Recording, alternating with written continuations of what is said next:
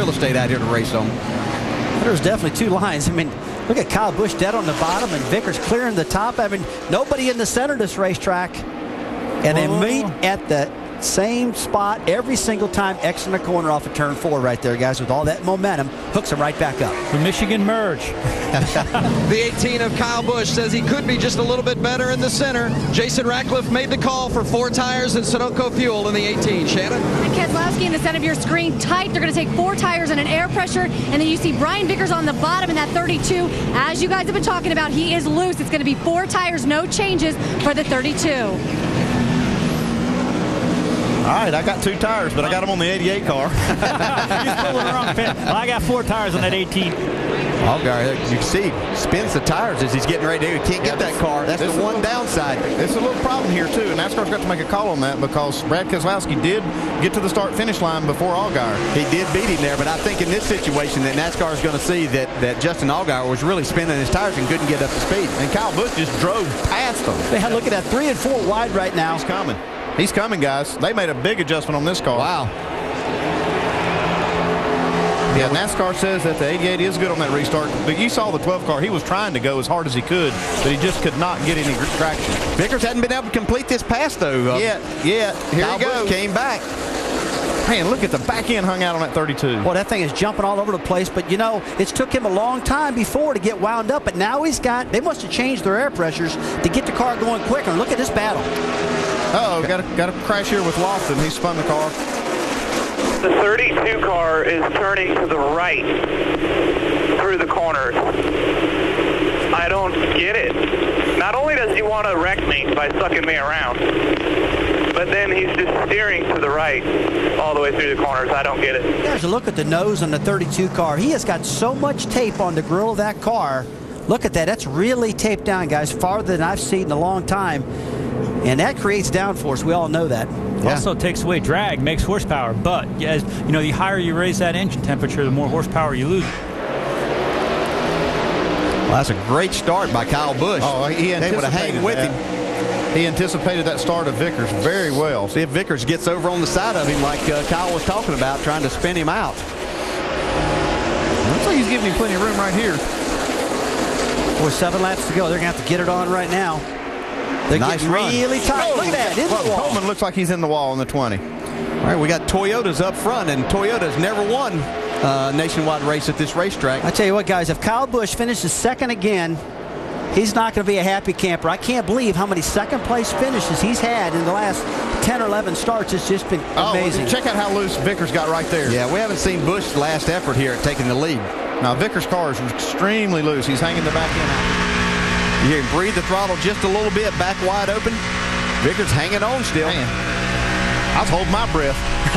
and that 32's got more downforce in the front than he's had all day long because of that damage. So that could make his car really loose too, guys. And you can see Brian Vickers pull down trying to break that draft where he doesn't have Kyle Busch right there on his bumper. Okay, here we go, guys. It's coming to two to go. See him down below the white oh, line. Look at the back end of that 32 He's step just out. dancing. He's holding on that thing for dear life right now because just like you said, Andy, that back end is jumping all over the place in that 32 car. Hey, my Yeah, two tires comes- are coming back. Yeah, Keselowski's coming back here. He's not far back here. He's just going to have to drive it till it blows up, and that's about it because he can't pull in now fix an overheating issue. Whoa, really There comes loose. And holds the lead. And there, look at Keselowski. He's got that momentum on the bottom side. This is the spot he'd be looking for here to be three wide. Look at Vickers get down. Check out Keselowski, guys. Coming to the high He's side. have this high White side. flag right here. Flag, white flag. Keselowski's right where he needs to be. We're three wide in turn one. Holy cow. Vickers Look can't hold on right right there. Look Vickers at is, Keselowski's going to have the advantage off of turn two. it's all about momentum, and 32 can't hold on to it right now. It's just too loose. Who's Kyle Busch going to fall in behind here? The 32 is going to be a lot looser. The with 18 that can go to the high side. I'm not sure he's got enough of a run. Look at the 32 with the power there. I cannot I don't think he believe can hang on. He's sideways. loose again. It looks like Keselowski's going to get the momentum off four, guys. And that's going to win him the race right there. It's a drag race down the line. And Brad Keselowski's going to win it. Two tires. How about that? How about that move? Wow. right, boys. No, he did. He I did think kind I of make would. a little move here. at contact there. yep, that's what you said. Come on, let's see if they're going to fight. I want to see this. Up, a little Uh, he just had discussion. A few little words here.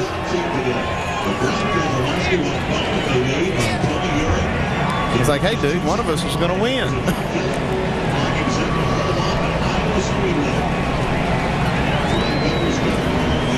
Well, we thought Toyota might have a chance to get their first victory here at Michigan, but uh, didn't happen. Here at Michigan. Oh. Oh, here we go. Nothing wrong with controversy. We need to get the helmets off. I don't know. That might be a, a smart move on Vickers' part. Yeah, if you're going to punch you, you better leave the helmet on, Andy. I saw somebody grab him. Grab was it Kyle Busch by the helmet? Uh, yeah, I remember that. I think I think I'd rather have it off. He hung on my right rear quarter panel all the way down the front straightaway and gave the win to the 88 car. He slowed us down so much. He had no idea the 88 car was coming. And uh, the 88 just drove right by both of us on the outside because Brian Vickers was trying to slow both of us down. Just stupid. Uh, if he would have ran his own line up at the top of the track and I would have ran my own line down at the bottom of the track, it could have been a battle between us two. But um, unfortunately, you race with idiots, and um, you know I guess you'll have that sometimes. But I'm sure I'm complaining and uh, I'm whining and I'm a crybaby, but um, it's that's just that's uncalled for. I mean, it's just stupid. I I would have ran my own line instead of giving it to the third place car in order to battle it out between the, the top two, who deserved to win and deserved to battle the race out at the end. He didn't deserve to win.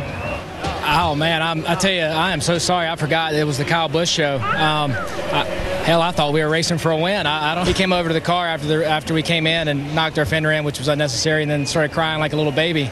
And I asked him if he'd just give me a minute to get out. We could talk about it like men. If he wanted to fight, that's fine with me. And as soon as I got out, he ran off. And and uh, you know, it's a shame that that uh, that it went down like that. I mean, we were racing hard. I thought it was a good race. You know, congratulations to 88. He snuck around both of us. I didn't see him coming. I, I let my guys down. We, we you know we should have been able to win this race, but last I checked, it wasn't the Kyle Busch uh, show. It, it was it was a nationwide race, and I was supposed to race him for the win.